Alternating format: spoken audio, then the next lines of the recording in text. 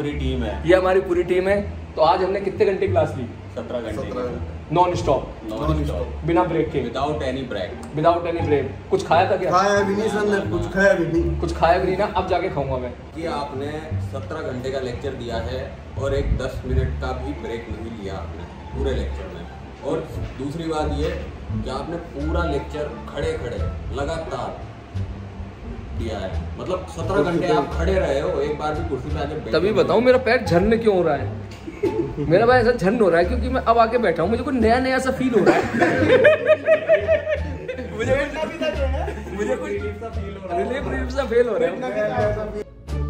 Hello thank you very very much मेरे प्यारे प्यारे दोस्तों। आज हमने 17 घंटे से ज़्यादा नॉन स्टॉप क्लास ली बिना किसी ब्रेक के। एक आध पाँच मिनट का ले लिया होगा पाँच दस मिनट का। और इसके लिए मेरा मोटिवेशन बेटा आप सब लोग रहे, ठीक है? और thank you very very much आपके एग्ज़ाम के लिए ऑल द बेस्ट बहुत अच्छे से पढ़िएगा।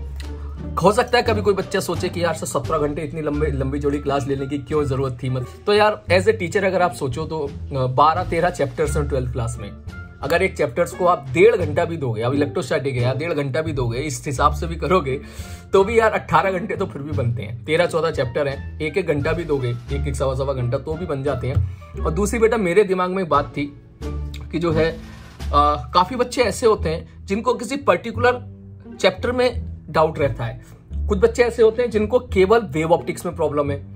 कुछ बच्चे ऐसे होते हैं जिनको इलेक्ट्रोमैग्नेटिक वेव में ही प्रॉब्लम होता है। कुछ बच्चे ऐसे होते हैं जिनको केवल सेमी सेमीकंडक्टर प्रॉब्लम होता है, उसका जेना डायोड में कम प्रॉब्लम होता है। कुछ बच्चे ऐसे होते हैं जिनको केवल जो है ट्रांजिस्टर में प्रॉब्लम होता है, बाकी सब उनको आता है। तो बिल्कुल उसी प्रकार। अब जब वेराइटीज ऑफ़ स्टूडेंट्स होते हैं, जब इतने सारे स्ट्रेंथ होती है तो एक ज़ाहिर सी बात है थोड़ा सा मतलब एक प्रेशर भी होता है टीचर के ऊपर कि यार बेसिकली एक ऐसा क्या कंटेंट दें? कि कम से कम हर बच्चा अपने डाउट्स वहाँ पे ढूंढ सके, ठीक? तो इसी वजह से जो है, ये क्लास इतनी लंबी लंबी चौड़ी खिंची है। इसमें जिस बच्चे को जिस पार्ट में डाउट हो, उस पे बेस क्वेश्चन को वहाँ पे देख सकता है, उसको सॉल्व करे। वहाँ पे मैंने वहाँ पे कम से कम आज 600 700 क्वेश्चन सब लोगों ने डिस्कस किए हैं। That is the main reason class इतनी लंबी चली है। और दूसरा रीजन ये है, पहला रीजन तो यही है, आप लोग मेरे साथ टिके रहे, ठीक है? शुरू से लेकर आखिरी तक आपको देख के मैं मोटिवेट रहा। और जो है, इसके लिए thank you very very much अब आप सब लोग जो है, अपनी तैयारी कीजिएगा। बहुत अच्छे से पेपर का एग्जामिनेशन की तैयारी कीजिए। आप सबको ऑल द बेस्ट ठीक है? कोई प्रेशर नहीं, कोई लोड नहीं, कोई एक्सपेक्टेशन नहीं है। जितना तुम्हारे भेजे में गया है, बस फॉर्मूला फॉर्मूला पढ़ लेना। मैंने हर चैप्टर के स्टार्टिंग से पहले जो फॉर्मूलेज लिखाए हैं, वो एटलीस्ट बेटा ज़रूर याद कर लीजिएगा। वो एटलीस्ट याद कर लोगे, तुम्हारा काम हो जाएगा।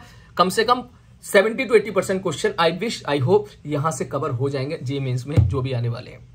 बेसिकली लेवल जी एडवांस तक का रखा है। ठीक है? ऑल द बेस्ट बेटा।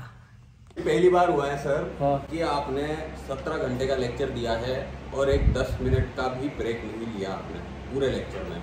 और दूसरी बात ये कि आपने पूरा लेक्चर खड़े खड़े लगातार दिया है। मतलब सत्रह घंटे आप खड़े रहे हो एक बार भी कुर्सी पे आके तभी। बताऊँ मेरा पैर झरने क्यों हो रहा है? मेरा भाई ऐसा झरन हो रहा है क्योंकि मैं अब आके बैठा हूँ मुझे कुछ नया नया सा फील हो रहा है।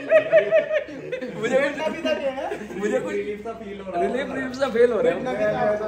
मुझे ऐसा लग रहा है ये वाकई में सर आपने ध्यान दिया हो नहीं दिया हो मैंने ज़रूर दिया है सर मैं बैठा नहीं था ना। कि बैठे नहीं नहीं सर भूल गए कि बैठना था। खो गए मैं भूल गया था अब मुझे अच्छा लग रहा है ये ना बैठने की भी रखी थी अपन ने शायद।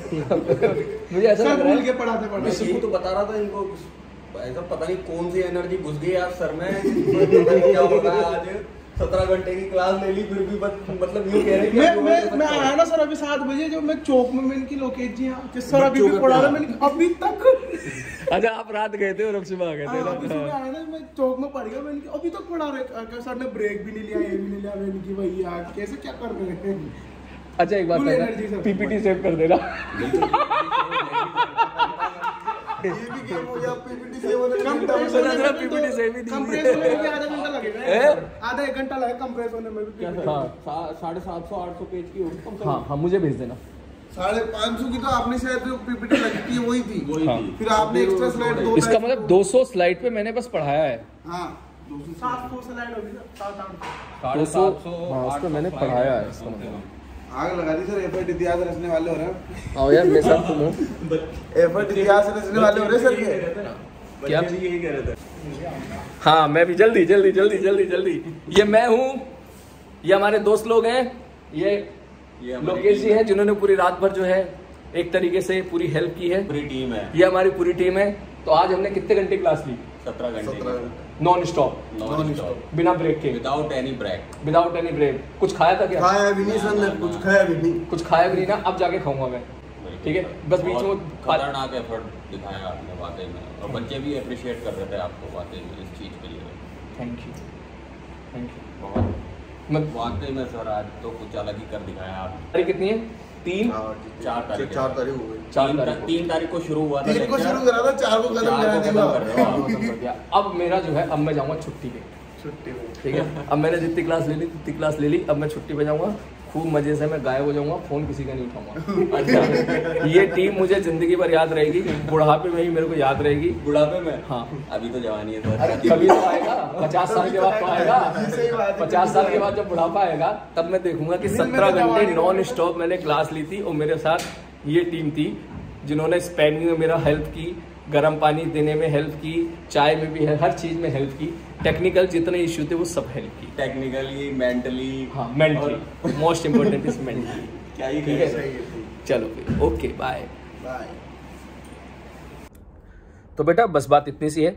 जिस बच्चे को जिस आर्टिकल में प्रॉब्लम हो ठीक है? जिस चैप्टर्स का सपोज़ कमज़ोर उसका रह गया उसको उस क्वेश्चन पे प्रैक्टिस करनी हो तो वो उस पर्टिकुलर उसमें जाए और वहाँ से उस क्वेश्चन की प्रैक्टिस करे और मस्त रहे। ठीक है? मेन पर्पस यही था कि हर बच्चे को उसकी ज़रूरत के हिसाब से, ठीक है?